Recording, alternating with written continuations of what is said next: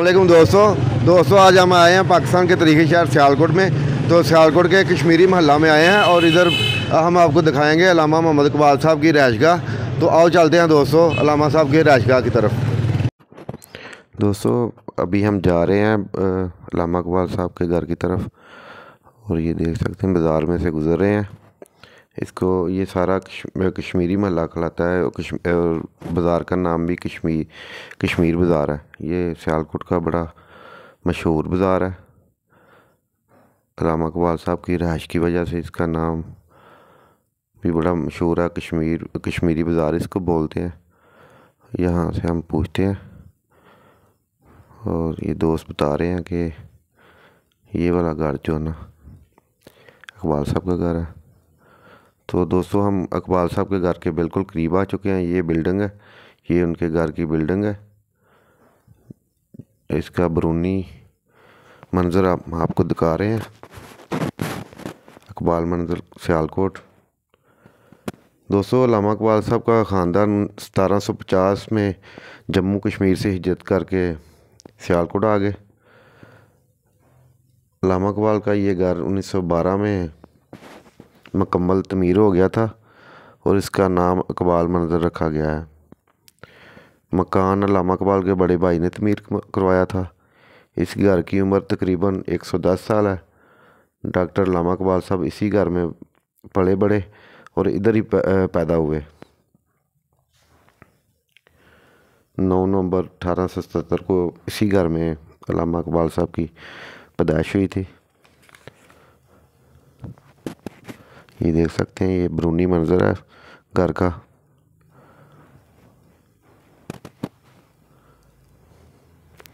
ये बाहर बोर्ड वगैरह लगे हुए हैं, अकबाल साहब के बारे में, उनकी हिस्ट्री के बारे में।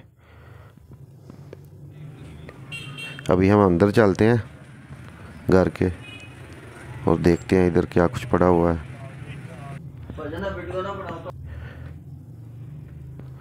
सीढ़ियाँ चढ़ के ऊपर जा रहे हैं हम दोस्तों।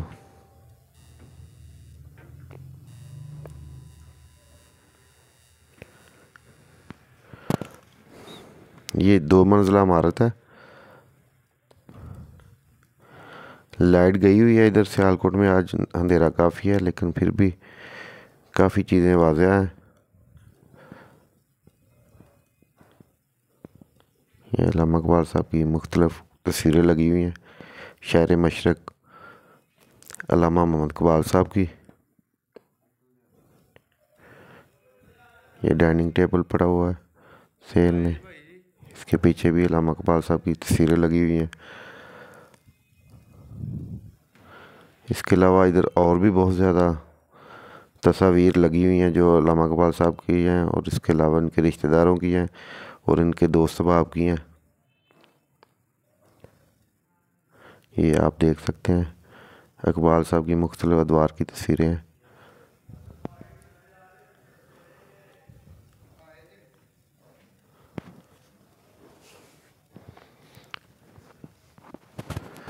इस घर को ये भी दोस्तों ज़्यादा असल है कि इनके बेटे डॉक्टर जुवेद इकबाल भी इधर ही पैदा हुए और डॉक्टर साहब भी खुद इधर पैदा हुए।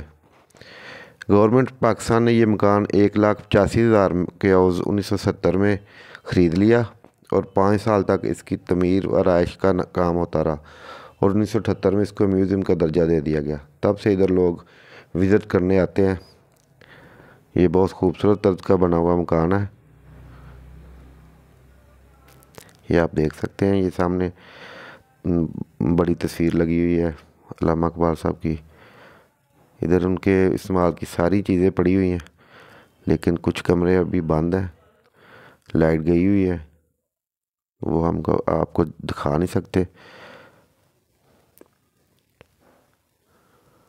अभी हम बाहर आ गए हैं और इधर भी आप देख सकते हैं कि उनका घर के बाहर बोर्ड लगे हुए हैं, उनके जाए पैदाइश के बाहर और उनकी मुकम्मल हिस्ट्री लिखी हुई है कि अलामा कबार साहब का ख़ानदान कब हिजरत करके, जम्मू कश्मीर से हिजरत कब करके आया, इधर सियालकोट में। और कितने अरसे में ये मकान तमीर हुआ और लामा साहब ने इधर कितनी उम्र गुजारी।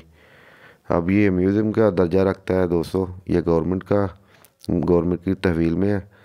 इधर कोई टिकट वगैरह नहीं लगी हुई, लेकिन इधर बहुत ज़्यादा लोग आते हैं इसको देखने के लिए। ये बरूनी मंज़र हम आपको दिखा रहे हैं। ये कश्मीर बाज़ार बहुत मशहूर बाज़ार है और इधर बहुत रश होता है। ये देख सकते हैं लामा इकबाल साहब के बारे में सारा कुछ लिखा हुआ इधर। तारीख पैदाइश से लेकर तारीख वफात तक। इक्कीस अप्रैल उन्नीस सौ अठत्ती को लामा साहब वफात पा गए थे।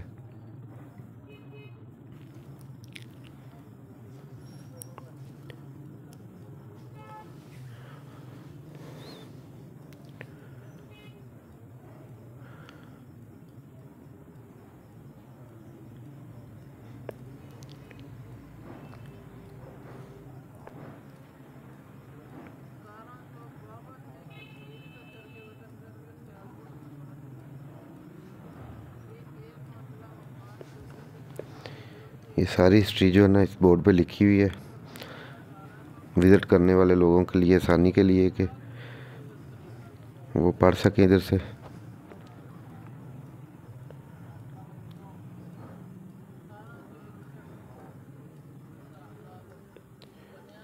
दोस्तों, ये आज भी घर जो है ना अपनी बिल्कुल असल हालत में है, बल्कि गवर्नमेंट ने इसका बहुत ज़्यादा ख्याल रखा हुआ है।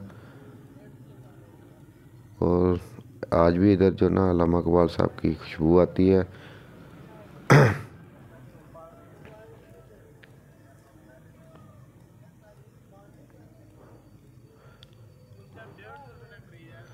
दोस्तों, अगर आपका सियालकोट आना हो तो आप अकबाल मंजर ज़रूर आना।